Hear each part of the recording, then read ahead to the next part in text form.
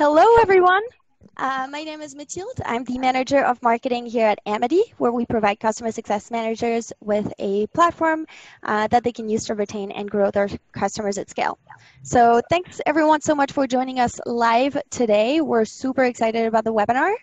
Uh, we're tackling the issue of QBRs and specifically how they can drive customers accountability. And uh, I'm sure a lot of you are already familiar with our guest speaker today.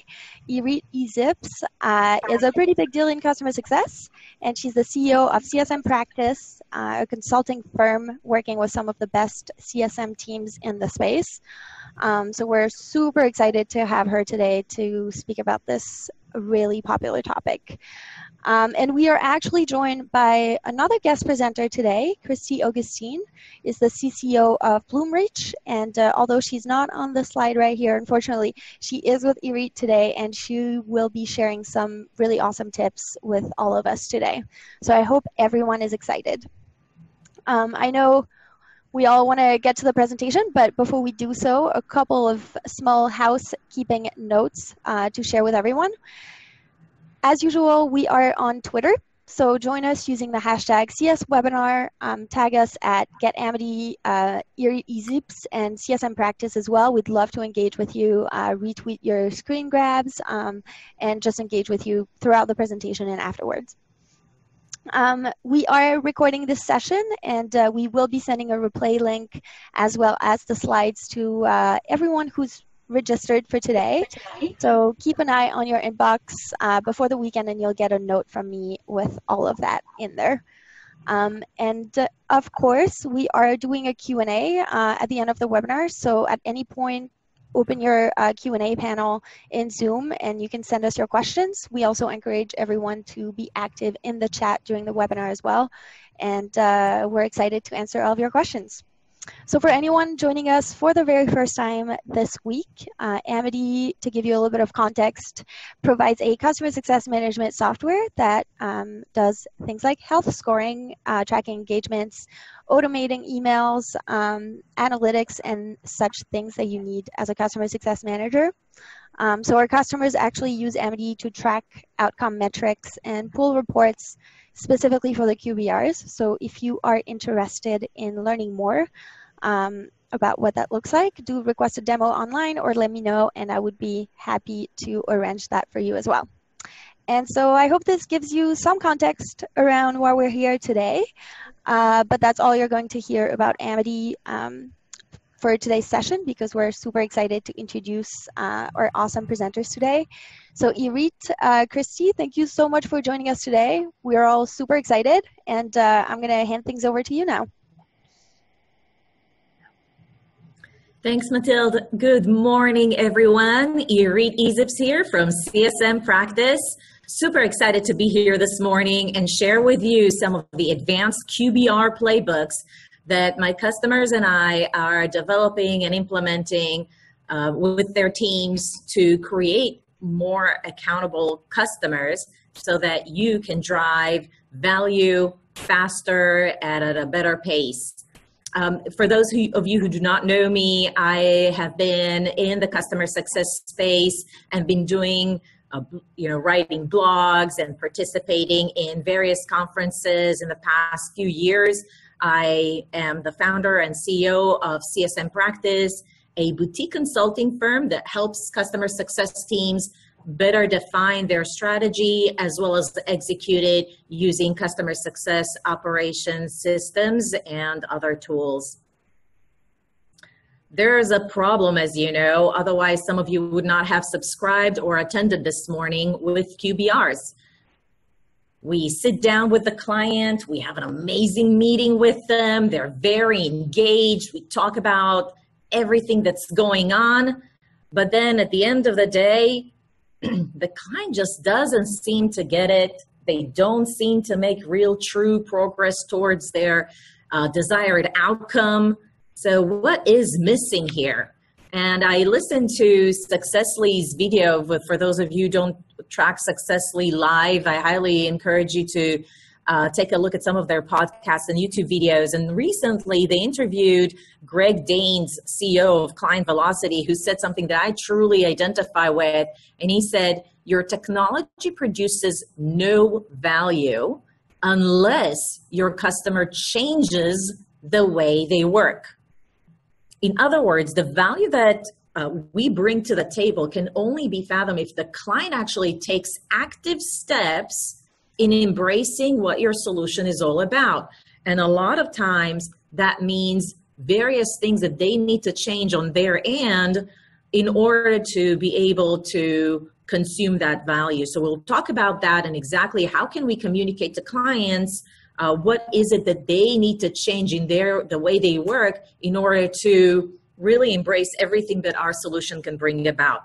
So you're right now, if you're you're in the right session, if you want to understand how to help clients make those changes that they need to make in their own organization, their own processes, their own teams in order to maximize value from your technology or services. You're in the right session if you want to drive your clients to become more accountable for their own success it's always nicer to dance tango with another partner, if you know what I mean. And then if you want to get concrete advice, meaning you want to see how this looks like, samples of templates that we use with clients, examples of step by step approach to develop these tools. Stick around. We have Christy here who's going to show you exactly how those specific tools and advanced QBR tables, uh, sorry, advanced QBR playbooks look like that you could use in your own QBR sessions to drive higher value faster for your clients by effectively driving client accountability. So if you think about client accountability, I think it's really the missing piece for your QBR reviews. You know, sometimes we just do everything that we can. We offer training, we tell them what needs to be done, we offer some different uh, advice on things that they can do with the system, but still, you know, nothing is really happening or it happens, but very, very slowly. It's really hard to get the client to adopt uh, these new features. So at some point what we need to be doing is be very very clear with our clients as to what they need to do what is their piece of accountability and um, their responsibility for their own success. And in, we need to do that in a really clear way. And today you're in luck because we're going to show you how does that look like being clear with clients. And so what i mean by that is that we need to be very realistic with our customers and we need to tell them exactly what do we expect from them as part of that journey to arriving to those desired outcomes. And that's called customer accountability. And I, I, again i would submit to you that this is the missing piece from quarterly business reviews because i do have a number of clients and every time i talk to them about that some of them don't do it or they don't do it enough. So the first thing that you need to think about is being explicit with your clients and creating a cookbook, a roadmap that's very explicit around what kind of outcomes they can have and how and what is the roadmap that they and you need to take together in order to accomplish them.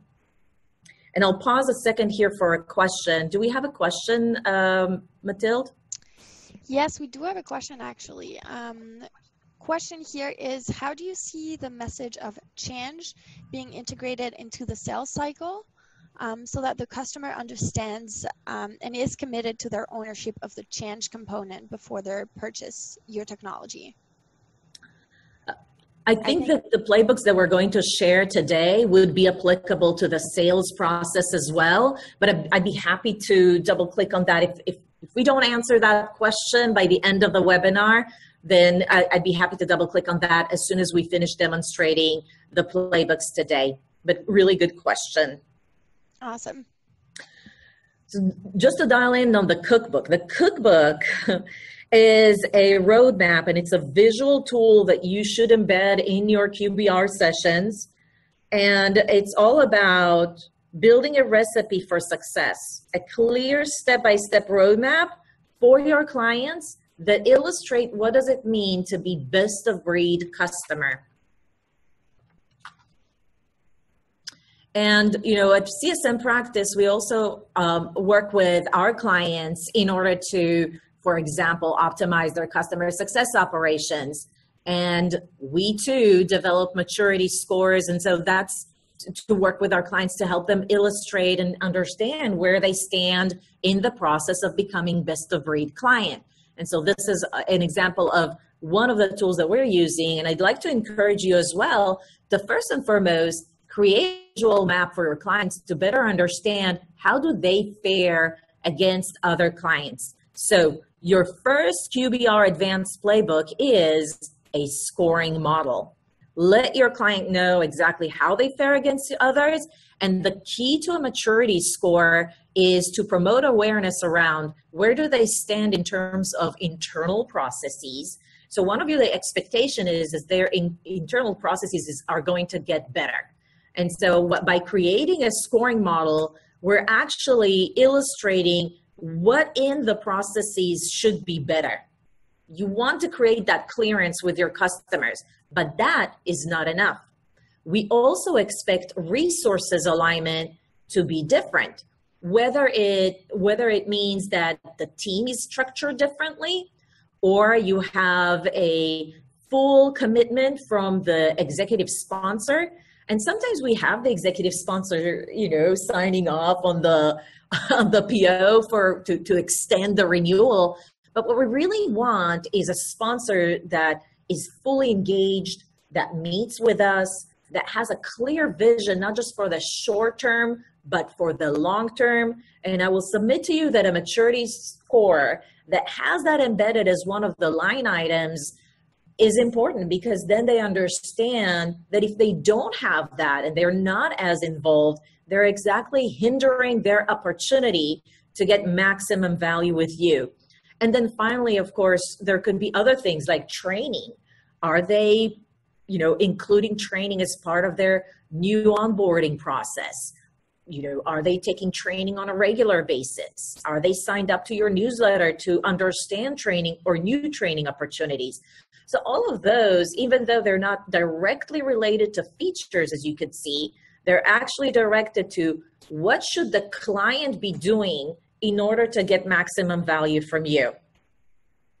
Overall, this kind of map and maturity score should allow your client to build a short term and a long term vision with you and then say, okay, this is where we are. It could be the yellow triangles, for example, and this is where we think we could be by the end of the year. And then start working with you during the QBR session, now that we painted the picture of where we want to be, um, to say, what are the next steps for this year that we wanted to take in order to get to that orange dot?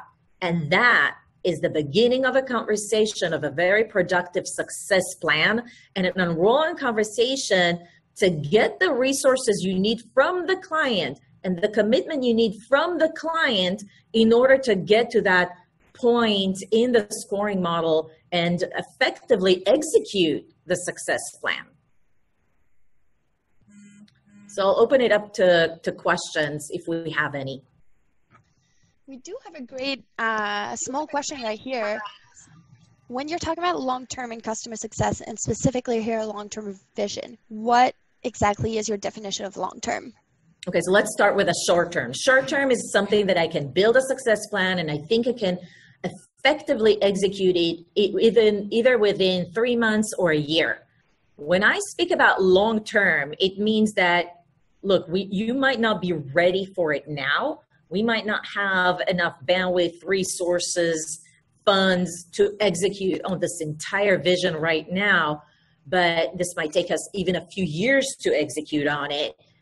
However, even if I don't achieve this entire value or vision immediately, I do see how my company can grow with your solution. And this is very important. That's why I have long term versus short term. Short term could be first value deliver or a value deliver.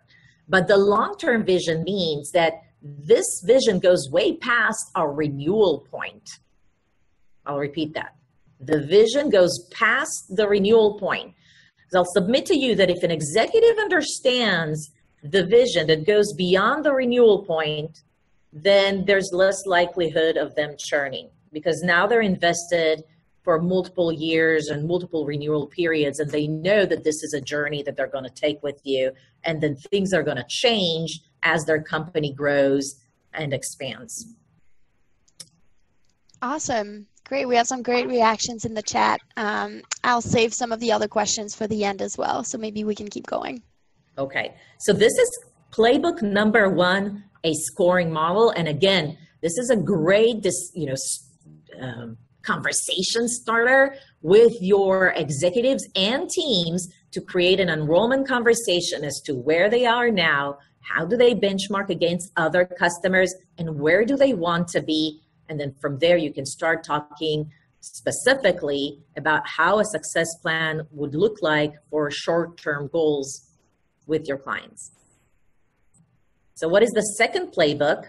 That's the business outcome roadmap. See, sometimes the scoring model can tell them what are they not effectively doing with you that they should in terms of resources, processes, and overall vision. However, sometimes we actually need to tell them what they don't know that they don't know. What does that mean? We have access as customer success managers to many other clients and we could tell if there's other use cases that clients can achieve with you that they have not even considered yet because they just didn't think about it or they didn't even know that your application can assist with that. So the first thing that I would recommend doing is it's kind of like opening the buffet. okay, make a list of the top business outcomes your clients can achieve with you. And that's a great uh, you know conversation starter. What are your uh, outcomes for the years. What are your goals and objectives for the year, Mr. Customer? And the slide should show different main objectives that you can help businesses achieve. And the client can take a look at that and say, well, this resonates with me, or that, or this is a high priority, and this is a really interesting one. Tell me more about that. But it creates a discussion and potentially helps you increase value in a way that the client didn't tell you but you sort of like opened the door for them. So this this particular playbook is designed not necessarily to immediately increase realized and proven value, but it is there to do two things. One, increase perception of value. So even if I don't have the resource to implement all these different outcomes, now as a customer, I'm better educated around what are the outcomes that I could potentially achieve with you. And it's at top of my mind. I, I can constantly think about it. And as I come across a business challenge, I'll know that you have mentioned in the past that you could potentially help with that, and I'll double click on it at the appropriate moment. But it's a great discussion starter.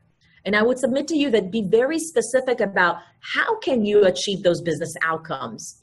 It might be that you're going to use different objectives in order to support that outcome.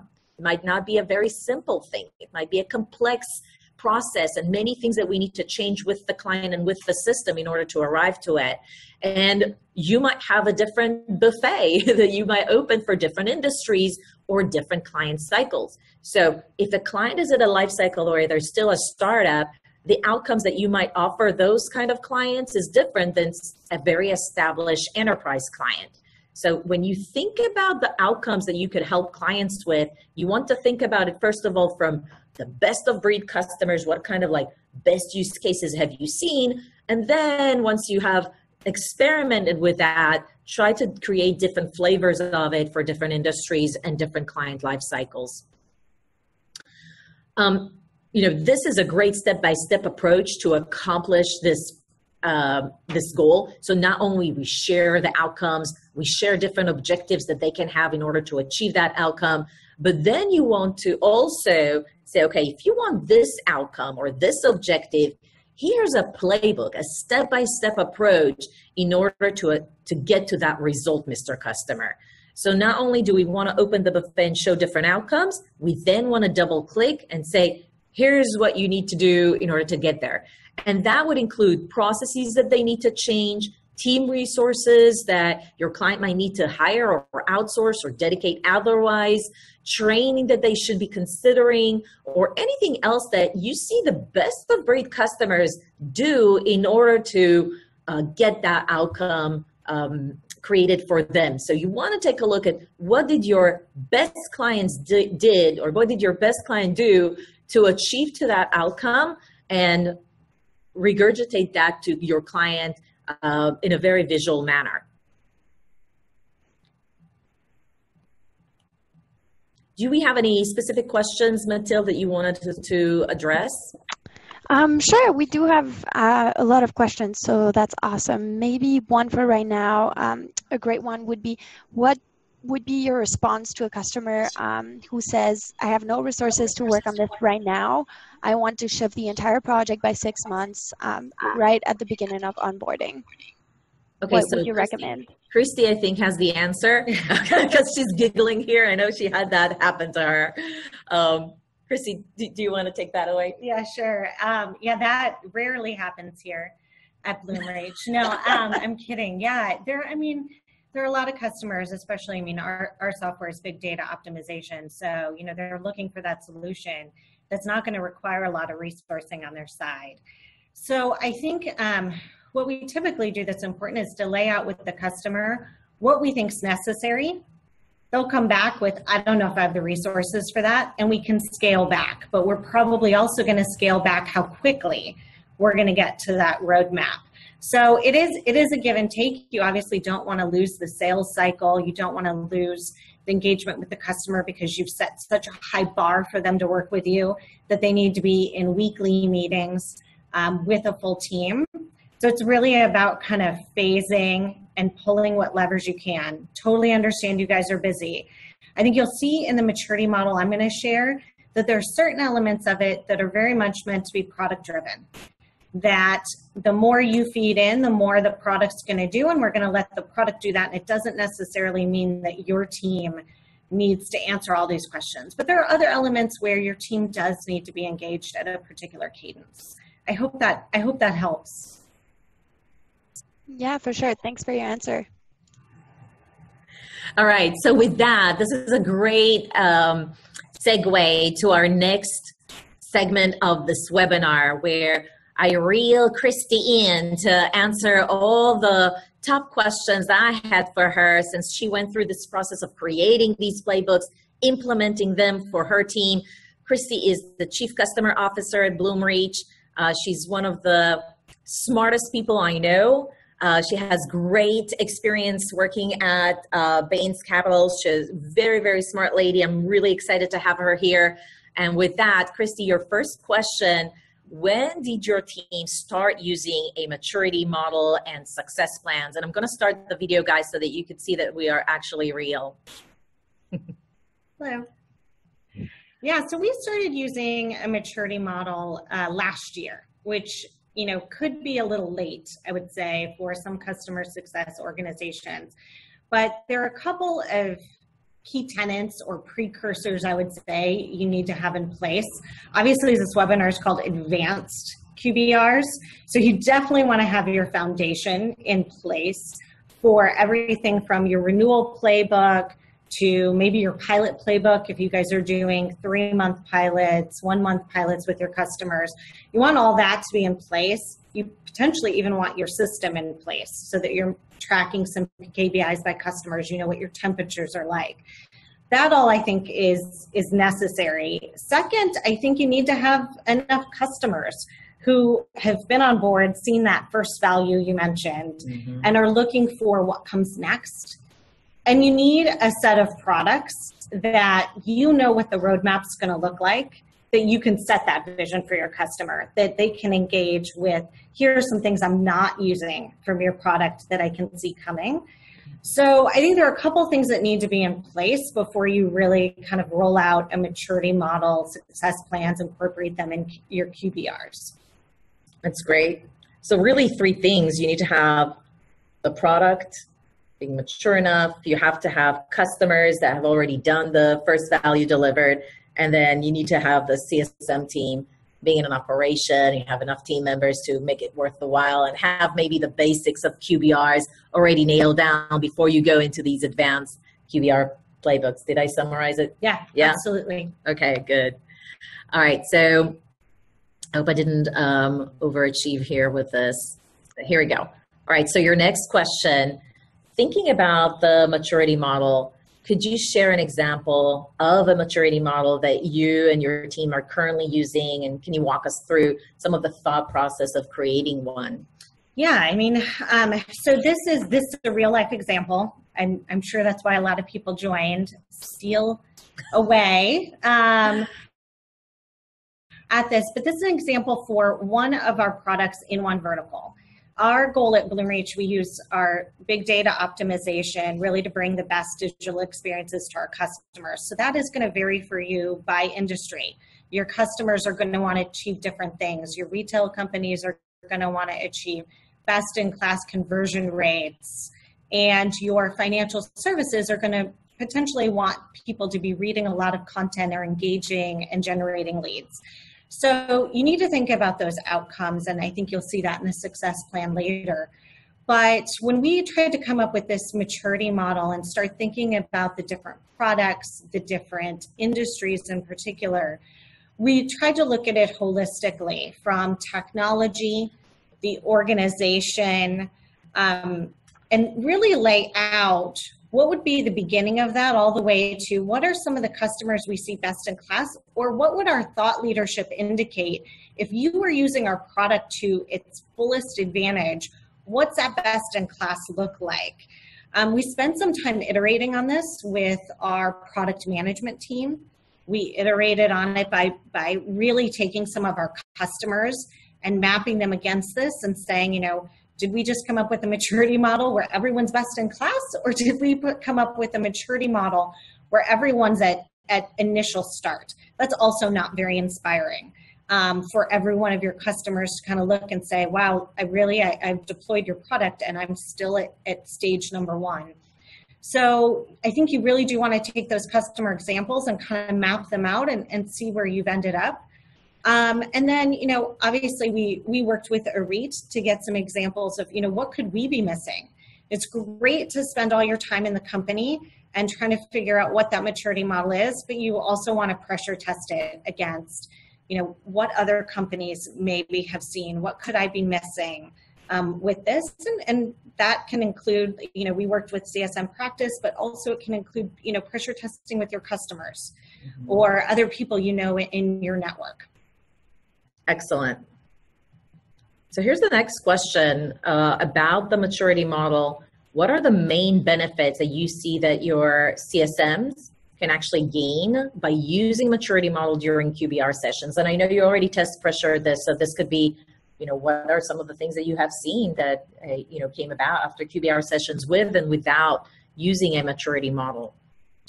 Yeah, I think that uh, there are a couple things that the maturity model allows you to do. I mean, one, they're just way more fun to talk about mm-hmm. with your customers, right? Instead of going into your QBR and talking about the number of support tickets that were filed in the last month, um, you know, where we are at with a particular deployment, setting that vision and that inspiration for the customer is a lot more fun to talk about. It's probably one of the reasons they've engaged you. Um, um, I think another benefit as well is you're you're having a much more strategic conversation, yes. which allows for a lot more of a commercial conversation at times, right? In order to get to best in class, mm-hmm. they may they maybe do need to upsell um, on a different product than from what they have. They maybe need to engage professional services, whether it's with you or one of the partners, mm-hmm. to actually get there.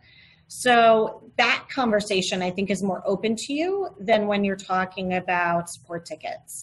Um, I don't know about many of you guys, but we also get a number of questions from our customers on benchmarking. You know, every QBR, we got the questions of what else could I be doing? What are other people doing that I'm not doing? This is a great way to have that conversation without feeling like you're diverging, you know, diverging into some other customer and, and giving away some secrets, mm-hmm. but you're talking about just the roadmap in general. So um, all of those put together make for a QBR that feels like you're having a vision and a strategic conversation and you're putting everyone on a roadmap. I like how you pointed out earlier, this is longer than renewal. This is that you guys have created a partnership with your customers to get them where they want to go. Yeah. And I think the key here in what you said is look, guys, the customer wants you to tell them what, how do they fare against other customers? And they want you to tell them what kind of vision they can have with you. And these tools do that exactly in a very nice visual way.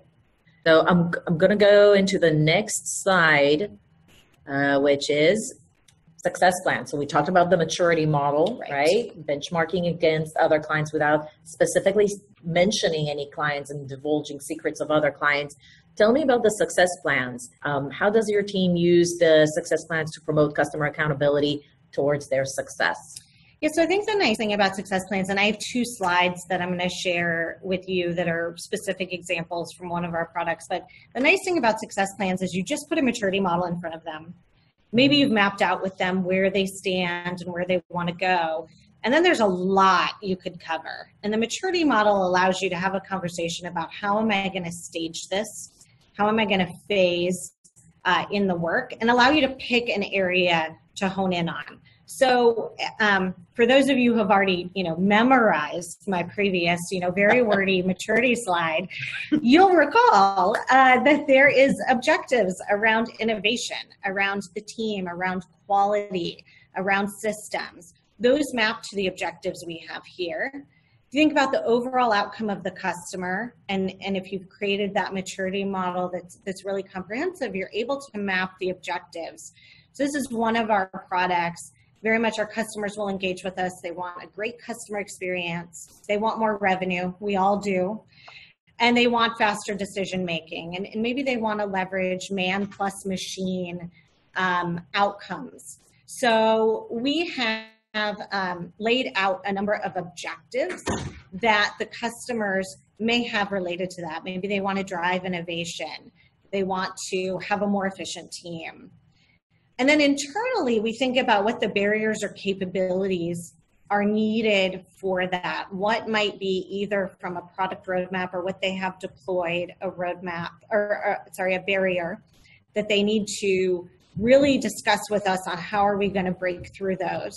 Or maybe there are new capabilities that need to be built into the organization. This gives us kind of our blueprint for right. what's that next step step in the maturity model. And I want to hone in on this uh, slide for just a second here because you could see that first of all, you know, if you have a complex solution, this slide is great because Bloomreach actually has five products, and then within that, you could see even from the maturity model that it could tailor these specific uh, visual visual tools, if you will, or advanced QBR playbooks to address specific industries or specific products that they have. And I would encourage you that if you have a similar uh, type of solution that you offer that's that changes based on industry or changes because you have different products that you sell on the cloud, uh, this is a great example of how you can do that.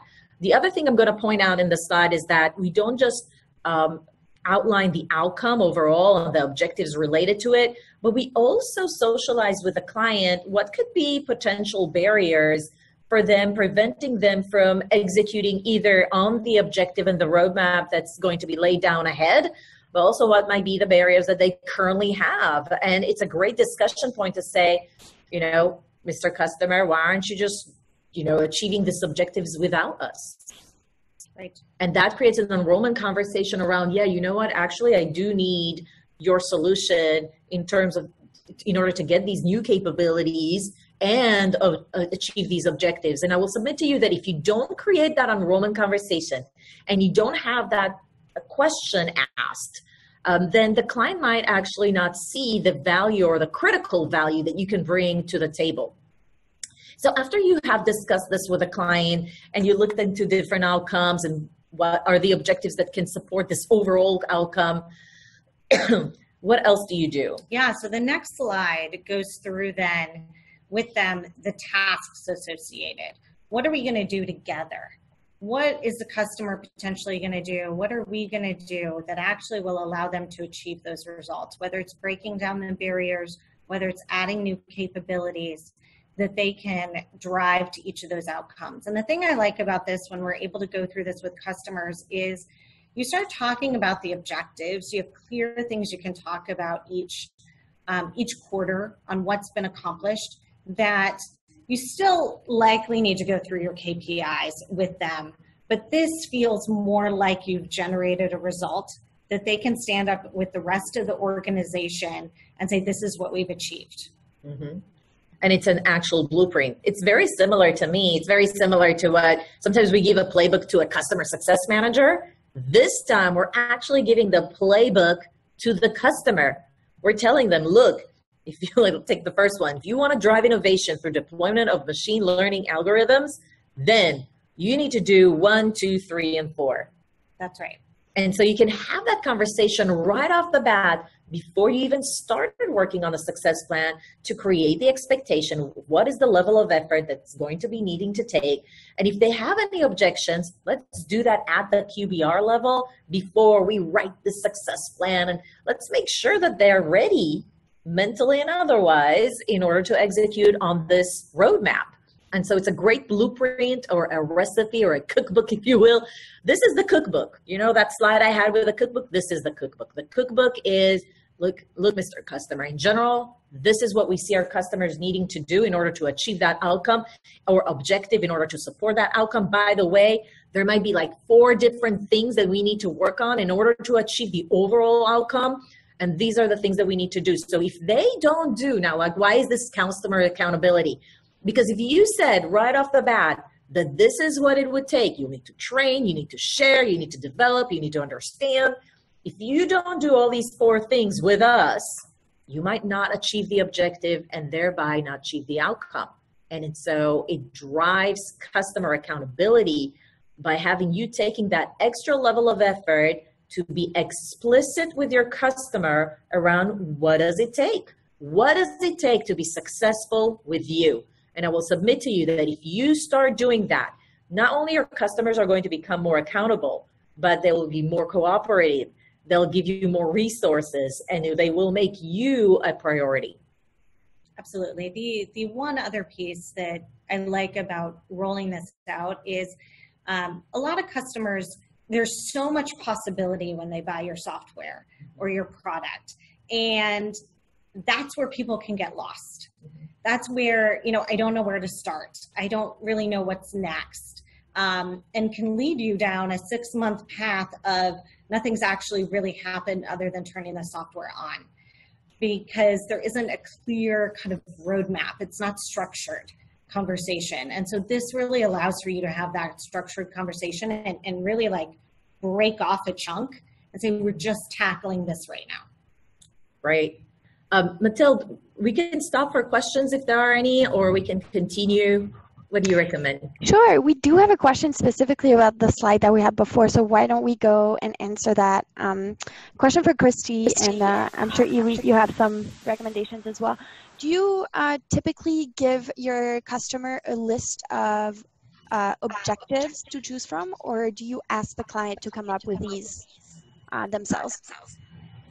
Oh, good question. So if you start with the maturity model and they're picking kind of an area they want to focus in on, then typically tra- we craft the outcome with them. So I don't give them a list to kind of pick from, but that maturity model almost does give you a list to pick from.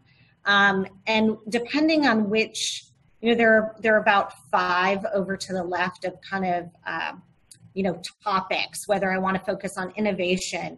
You know we have some customers who say i i want the best in class experience and be very innovative for my customers. And other customers we speak to say you know quality is of the utmost importance. We can't have any mistakes there. Those um, those clues and tidbits that we've received through the sales cycle or we've received in that conversation tell us what that outcome is and we'll craft that typically once we've crafted that from those conversations the customer really just says yeah that's what i wanted. Um, very rarely do they end up editing it. It is pretty a high level statement. Um, it's not it's not a really granular statement. Mm-hmm. any other questions? Um, yeah building on top of this actually um, when do you recommend getting the buy-in uh, from the customer uh, for these objectives during the sales cycle or at onboarding? Oh, that's a good question. so tricky because, you know, ideally we'd love to get it during the sales cycle, but you also don't want to slow down your sales cycle. And so it's it's very tricky on when you really want to um, deploy it. Ideally, you're having some of these conversations during the sales cycle, particularly around objectives. What do we really want to get out of this? Um, in that case, you may also be around an initial value demonstration. So you're not really creating a huge, long vision and roadmap. Maybe you're really just trying to show that this can change the dynamic of the team at the customer or the customer. So um, in that case, you may want to keep it short in the sales cycle. Certainly during onboarding and then after first value demonstration, we really start to dig in with the customer. And we found that very early on, it's pretty it's pretty tactical what you need to do. You need to stand up the product. Maybe you've got that one proof point. You've got to get in front of the customer. And so you're putting a lot of your energy against that and getting them that initial win. This is beyond that initial win. So you don't have to go through everything in great detail. So, in other words, I think we're going to keep it short in the sales cycle, but focused on tactically getting first value delivered. I would submit to you that these advanced QBR playbooks are great for customers that are in the adoption phase. Yeah. Mm-hmm. Okay, so once they're in the adoption phase, let's say you're a new CSM and you've received a portfolio of customers, some of which have been with you for three or five years. How relevant do you think their initial sales goals are at this point? Mm-hmm. Probably not very, because if they're a healthy business, their business is growing. They're not a healthy business, then their priorities have changed. Either way, you have to double click on that. And so these kind of advanced playbooks allow you to have that kind of conversation. What changed this year, Mr. Customer? Hey, executive sponsor, what what are your main priorities for the year? And like every other executives, they will have different strategic goals every year for themselves personally, for their team specifically, and certainly ones that tie back to the the, comp- the overall company goals. So it's very important for you as a CSM to really check that at least once a year, if not more. Awesome. Yeah, we did have some uh, questions about how to improve customer adoption, uh, which we could do an entire webinar about this specifically. Um, but that awesome. that answers it. Uh, these specifically in QBRs are a great tool sure. for adoption. Awesome. Okay, so moving on, Christy, since your team started incorporating these into QBRs, what do you see the impact is on the clients as well as the CSM team? I mean, with the clients, I think there's a lot more clarity on what needs to be accomplished. Mm-hmm. Um, the QBRs aren't necessarily this um, meeting where you go through these these graphs, this data on how we're doing. Everyone absorbs the data. Hopefully, mm-hmm. I mean, I'd like to think that every QBR we have, they absorb all the data, but um, you know, it's not a that kind of let me come to you, tell you everything we've done, data driven wise, and shake your hand. It is about a partnership. And so the QBRs mean a lot more conversation around, all right, well, what's working, not working? We have this vision for your org- for your organization, right? Mm-hmm. We have this digital experience we want your customers to have. Where are we better? Where are we not better as a team?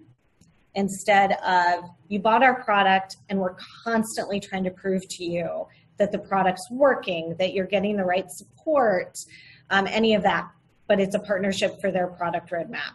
Um, I also think that the CSMs, it's it's just a lot more fun to prepare for. Yeah. You're really kind of, I don't know about you guys, we hire very strategic CSMs, really smart people. They like to get in the room and brainstorm how can we make this this customer experience better.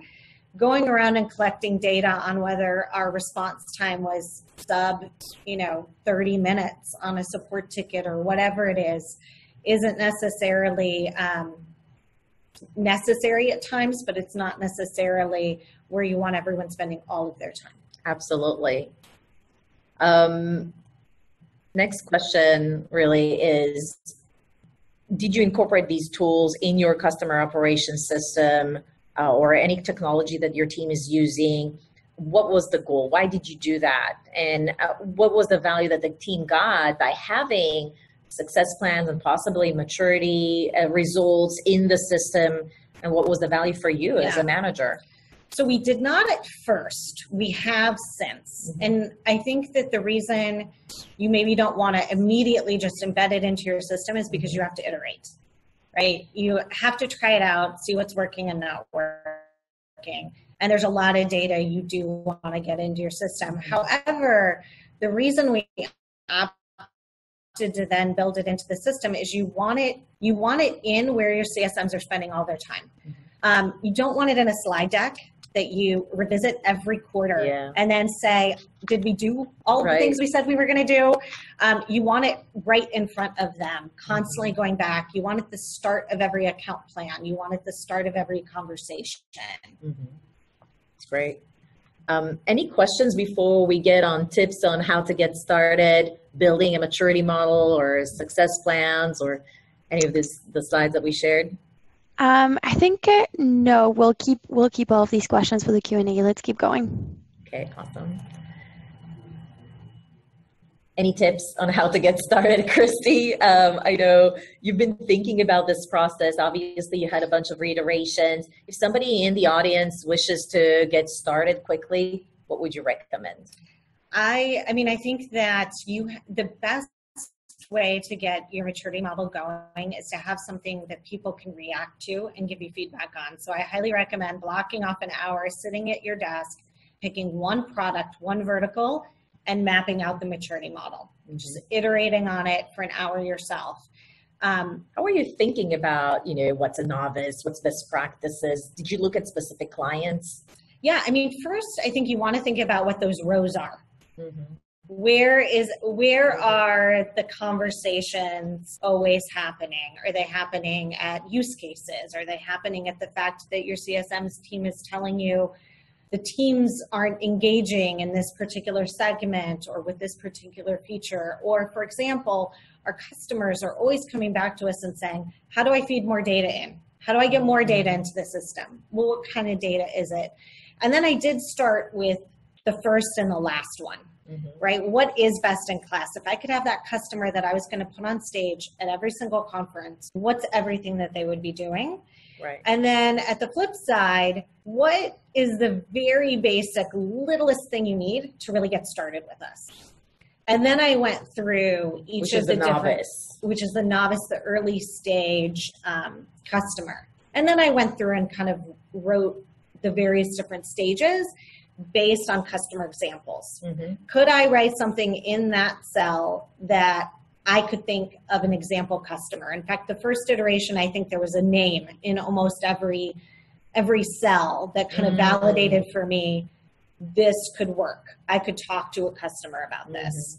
Mm-hmm. Um, and then we and then we did an offsite with with Irit, um, brought her in, had her work with our teams to really have an offsite on okay, is this a maturity model that's really going to work with our customer base? And how would we translate that into success plans? Um, if you're going to do a success plan based on outcomes, based on industry, based on product, you're going to want to divide your team into sub teams and have them try to take that first iteration and go tackle that to get yourself set up with a few success plans. It also led for a lot more team buy in that this is mm-hmm. something that they wanted to go do and go roll out, they had created it. So, in other words, when you're ready to launch new processes and new playbooks and introduce those to your team, it's nice to have the team go through this process where they potentially have an impact on how the playbook looks like eventually. So, you'd have that enrollment conversation with the team, you get the internal buy in, and therefore address some challenges that we typically see in what we call change management. Absolutely. Okay. Um, so we're almost approaching the end of the, you know, what she was referring to us, you know, coming in and doing a workshop for her team is part of the CS Navigator program that customers, the CSM practice offers, where we work, we offer sort of like a management consulting services that are very agile, and it also serves as a great coaching opportunities for you and the team. We work on deliverables, so you, we typically engage with your with you and your team to produce these kind of templates as we're going through, and it, a lot of times it has some element of training or coaching to it. Um, if you want to learn more, go to our website, csmpractice.com. There's plenty of uh, information there, or just submit a contact form and we'll contact you and tell you more about it. Key takeaways from this uh, webinar. I hope you enjoyed it. I hope you learned a lot. Uh, use scoring model in every QBR uh, to demonstrate where the client is in their journey to becoming a you know just better customer or better in comparison to other clients and following best practices and becoming best of breed follow up after the QBR with meeting notes as to what they said regarding the scoring model conversation. And that should hopefully materialize into a success plan that would be effective for them. Um, I highly recommend showing a list of business outcomes at least once a year. Obviously, like Christy said, you can't really show that every QBR, but every now and then when you have the right people in the room, it's a great discussion point to create that strategic uh, you know partnership with your clients establish a uh, trusted advisor relationship with him and elevate the conversation to what is strategically important for them and where are their highest priorities and align expectations for what is their accountability for their success. Create that roadmap. Your client want your clients want to know what is the roadmap. They want to know what else they can achieve with you and they want to know how they fare with against your other clients. Uh, so take that time to do that and develop these advanced playbooks. Uh, i hope you get lots of success. We're going to stick around here for some questions and answers. Uh, mathilde please please share those. We're happy to to address all of them Awesome, cool. We already have some awesome, awesome. questions. So um, let's take an extra five minutes to um, to answer as many as we can. So one good question here is uh, Rana is asking, saying very tactical and fun, foundational question. Uh, what's the ideal duration of a QBR if you want to cover these advanced components in it? Yeah, that's a great question.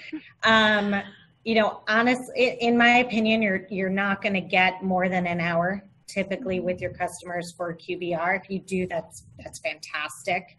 Um, you can ask for 90. We struggle to get more than 60, so we try to make sure that we're spending most of the QBR talking about their vision and roadmap, and as little as possible on the things we can send in a report or that we can leave with them. So every month we can sit down and talk to them about any open support tickets, or we can talk to them about the latest service project that they have and where are they in their data feed upgrade. But the QBR is your chance to have an executive sponsor and the full team at the table. So use it for the discussion and the vision. Don't use it for something that you can hand them a report and say, and by the way, I'm happy to set up a follow up call on these KPIs and this report looks great. We're super excited to continue working with you, but it but it can be read offline. Awesome, great. Um, another question for you is, do you run your QBRs for every customer or only customers above a certain MRR? Yes, so we do because our customers are of the more strategic, larger size customers. So we don't have that um, that tier where we would say above a certain MRR for sure. We would like to move to a different cadence, but for us in particular, we don't have, they, they all fit that threshold. So we do have a strategic and we do it four times a year. In other words, at Bloomreach, all clients are strategic clients. They don't have segmentation. Their clients are, you know, the the solution warrants a high touch uh, engagement model. So that's very unique. If you have a different business model where you do have a lower MRR or ARR and you, you should or do get segmentize your customer success uh, or sorry, the customer base, what I would recommend is you know for your could be multiple tiers there's the white glove where they pay you so much that you're probably on site almost every week or every month there's a high touch where you're probably mostly remote and maybe visit them every six months to a year, which I encourage you to do. And then there's the on demand where you would mainly offer one to many uh, programs with an element of a high touch where needed. So you'll carve out the segment to say, okay, so in that on demand segment, how many customers this quarter should I reach out personally? And those would be your the ones that need your help. And so in that regard, when you think about QBRs, obviously for white glove and for high touch customers above a certain ARR where it's actually productive to do so, you would do that every quarter. And for the on demand or lower, you would maybe do that once a year um, preferably on site if you can. It really depends on your business model. I would I would say carefully assess the profitability of any kind of engagement that you decide to do, and then think through: Can I do the same? you know maturity model question can i do a questionnaire for you know the low touch or what we call on demand or, our um, digital experience can i can i supplement this experience digitally so that everybody gets to understand how they fare against other clients. And then if they scored in a certain way can i feed them or nurture them in an email sequence? So there's ways to provide the same sort of customer experience in different levels. And if you don't know how to do that again we'd be more than happy to assist you in thinking through these kind of strategic uh, engagement models. Awesome, great. Um, we have multiple questions here about um, how do you get customers interested uh, in a maturity model or doing QBRs or showing interest in collaboration on those objectives um, if they're not particularly engaged? And um, another attendee ha- here added, um, that's true, especially if their attitude is, I am paying you to find a solution, so it's your problem. Um, do you have any tips on how to do that? Basically, the client refuses to be accountable. Exactly. So before you can even get them to the QBR to show them that they should be accountable, how do you get their interest into doing that? Yeah, that that, that is tricky. Um, I wish we had a one size fits all answer to that. We usually, in those cases, we will pull the full account team together and strategize. So it's not necessarily anymore about getting that QBR meeting and going through the maturity model, but it's about the full account context. So it's possible that the that your sales team already has discussions going on elsewhere in the organization um, about a different product, or they are going to have coffee or touch point, and that's a great point for them to talk about the longer vision and the fact that there's some stuff we can do, there's some stuff we can't do. Right, our product only does what you feed into it. So how do we how do we get that engagement? Um, I have found that when we get the account team together, there's usually several leads, um, whether it's from the sales team or from maybe the previous CSM if you've had to do a transition, that you can get in and that get that conversation going. And customers are more likely to pick up the phone when you want to engage with them on um, a strategic conversation. We want to talk about where your product roadmap's going and where our product roadmap is going. That's almost always resulted in an answer to an email for us versus we really need to schedule this QBR. Did you ever pull in an executive alignment uh, playbook? For sure. I mean, executives on our side as well as the customer side. So maybe those day to day teams you're struggling to get in front of, but we can have our CEO reach out to their CEO or something like that. Those usually come out of the account meetings where we get the mm-hmm. full account team together and say, let's just whiteboard everything we could do to get this out of um, limited conversation mode and into a partnership. So when you say the account team, that includes your AE, who I assume is responsible for the expansion in the account, your CSMs, who else is, is We also there? pull in the leads for the regions. So mm-hmm. we'll pull in the directors for the sales region, mm-hmm. for the CSM region.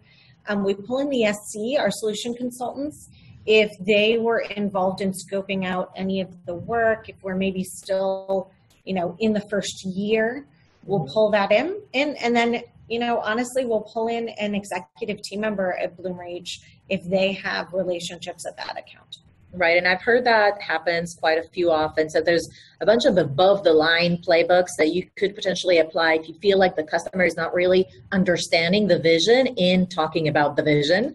Um, and sometimes that would include reaching out at the executive level. So executive peer relationships start to develop, bringing your peer executive to an on site meeting uh, that will typically pull the right resources into the uh, QBR session, or and you can elevate the name of the session to an executive business review to get the right people in the room. And also getting potentially, if you have a business advisory, uh, inviting that executive into your advisory board so that um, they can be more um, actively engaged in the roadmap and, and getting that sense of shared responsibility. So there's a bunch of things that you can do. I don't necessarily say that you need to pull all the levers at the same time, but certainly I think starting with having that conversation with your uh, entire account team is a good place to start. Awesome. Thank you so much. Um, we are at the end of the hour, so we actually have to wrap up. We have so many questions. If we didn't answer your question, um, apologies, but thank you so much to everyone that's been so active in the Q&A and in the chat, and so many people were able to join us today. So really awesome. Really awesome. And uh, Irit and Christy, thank you so, so much for sharing all of that knowledge with us. Uh, Christy, it was awesome to hear uh, what you're up to at Bloomreach and, and super insightful. So Irit, I'll let you uh, wrap up. Maybe you have some um, contact information or anything like that if you want people to reach out to you. Yeah, I sorry we didn't have enough time to address all the questions feel free to either contact me on you know the website csmpractice.com forward slash contact uh, dash us or you know i'm on twitter all the time. If you ping me on twitter i will address your questions. And also of course uh, christy is on twitter as well and she's tagged in all the promotionals for this webinars i'm sure you can find her fairly quickly. I want to thank you for your time today. Have a fabulous uh, day. Awesome qbrs and many many successful customers Awesome. Thank you so much, Irit. Thanks so much, everyone. Uh, we'll talk to all of you soon, and we'll be sending the recording very shortly as well. All right. Bye, guys. Awesome. Bye. Have a good day, everyone. Thank you.